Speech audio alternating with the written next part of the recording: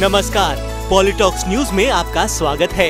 आप सुन रहे हैं न्यूज़ एट नाइट गोवा में बागी कांग्रेसियों को मंत्री पद का तोहफा जीएफपी को किया आउट गोवा के मुख्यमंत्री प्रमोद सावंत ने आज कैबिनेट का विस्तार करते हुए चार नए विधायकों को मंत्रिमंडल में शामिल किया।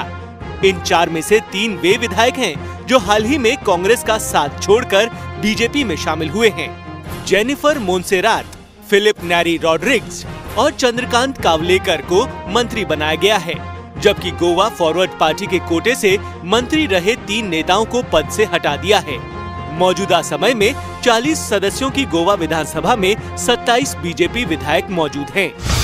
मॉब लिंचिंग पर मायावती का बड़ा बयान, सख्त कानून बनाने की मांग। बसपा सुप्रीमो मायावती ने मॉब लिंचिंग को लेकर बीजेपी पर निशाना साधा है। उनका कहना है कि बीजेपी सरकार की नीति की वजह से सर्व समाज के लोग इसका शिकार हो रहे हैं।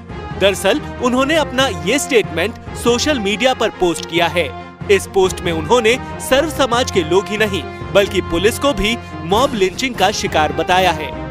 मायावती ने मॉब लिंचिंग पर जल्द ही कोई देशव्यापी कानून बनाने की मांग रखी है। कर्नाटक संकट जारी, नाराज़ विधायकों को मनाने में जुटी कांग्रेस।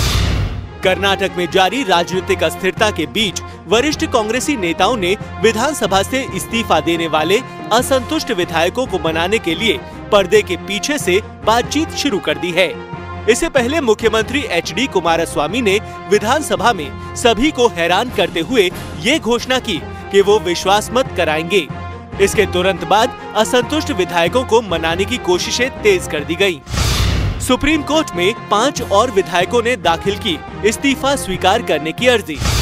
कर्नाटक संकट में एक और तूफ़ान तब आ गया जब पाँच अन्य विधायकों ने सुप्रीम कोर्ट में इस्तीफा स्वीकार किए जाने की अर्जी दाखिल कर दी। इससे पहले 10 विधायक पहले ही विधानसभा स्पीकर रमेश कुमार के इस्तीफा स्वीकार न करने की शिकायत पर सुप्रीम कोर्ट का दरवाज़ा पीट चुके हैं।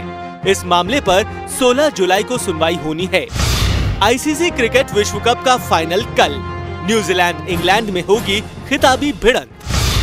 आईसीसी क्रिकेट विश्व कप का फाइनल मैच कल न्यूजीलैंड और मेजबान इंग्लैंड के बीच खेला जाएगा। दोनों टीमों ने एक बार भी विश्व कप का खिताब नहीं जीता है। न्यूजीलैंड पिछले विश्व कप में फाइनल में ऑस्ट्रेलिया से हार गया था। वहीं इंग्लैंड पाँच बार फाइनल हार चुका है। दोनों ही टीमों में से जो भी जीतेगा, इतिहास रचना पक्का है। पहले सेमीफाइनल में न्यूजीलैंड ने भारत को और दूसरे सेमीफाइनल में इंग्लैंड ने ऑस्ट्रेलिया को मात दी थी। पॉलिटॉक्स न्यूज़ में फ़िलहाल के लिए इतना ही। लेटेस्ट अपडेट्स के लिए जुड़े रहिए पॉलिटॉक्स न्यूज़ के साथ।